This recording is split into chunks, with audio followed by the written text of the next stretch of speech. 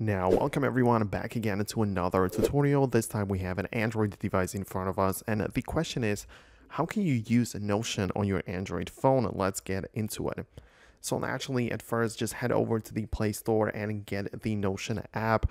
I know it's possible to use it through a web browser as it's like online based and everything, but using the app is just much better, right? So you just have to just go inside of the uh, the Notion application and at first you can basically just choose which account or which workspace you want to work with.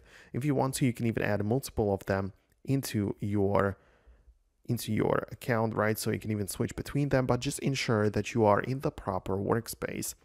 Then on the left panel, you have a couple of quick uh, searches like you can you get the home screen link you've got the inbox you've got the search but then you have a list of all of your pages right? So you're to scroll and just click in between them and whatever and that's just kind of how it works.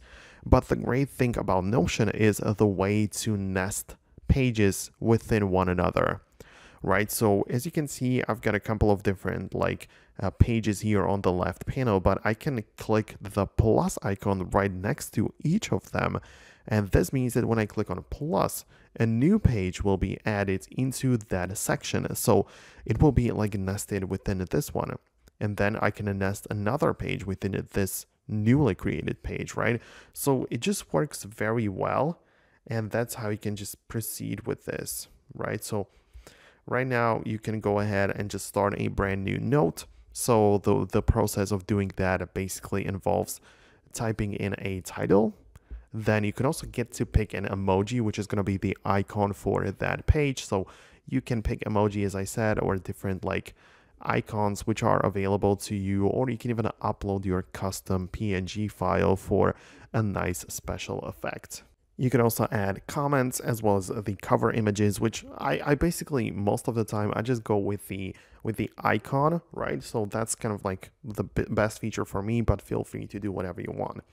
And then below you basically have the page for uh, you know, for the, the space for typing in your basic notes. Everything just works fine. It's all good. But the best part about Notion, in my opinion, are the elements or building blocks of your pages.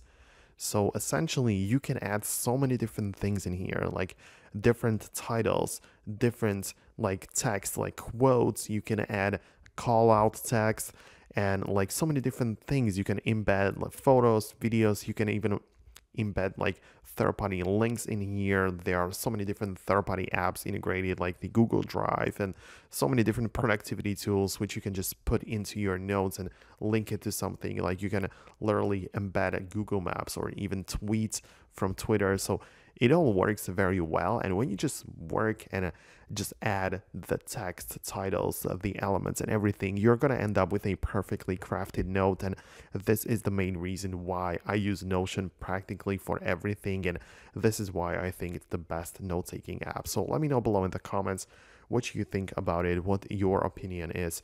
But for now, that's going to be about it. For more Notion videos, is mostly about iPad, but still, you can check out this channel and subscribe for more, and you will never miss anything.